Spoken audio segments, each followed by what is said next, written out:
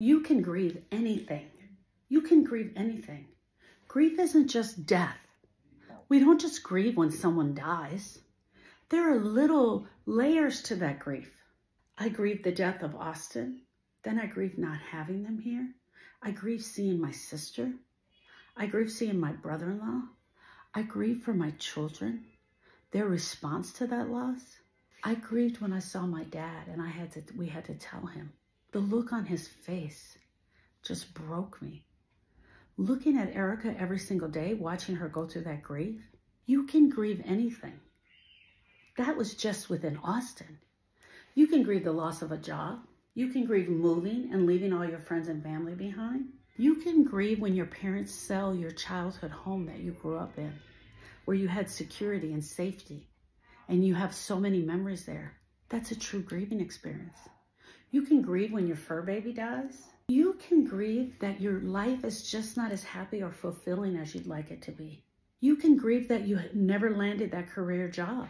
You could grieve the fact that you never got to go on those vacations that you always wanted, that you never made it to the height in life that you wanted to make it to. You can grieve an addiction. You can grieve your addiction to alcohol or recreational drugs. You can grieve your shopping habit because you've spent too much money.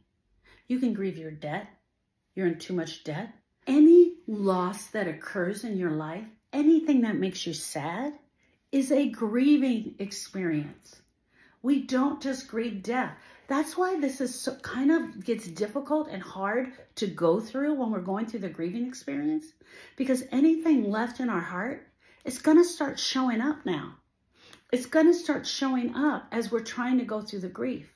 When your little puppy died when you were three years old and your parents never talked about it and they ran out and got you another dog, but you knew that Jack slept by your bed every night and he, you loved him and you told Jack your secrets and your parents never handled that properly or the way you felt was proper and you just had to pretend like everything was okay because they got you a new dog named Jackie and Jackie doesn't act anything like Jack, you can grieve that, my friend. You can grieve a relationship with someone who's still living. You can grieve the divorce. You can grieve your boss who's bullying you. I can go on and on and on, but here's what you need to know. There are 45 or more known losses that we know a griever can grieve over their lifetime. Death and divorce are just the most popular that everybody adds with grief.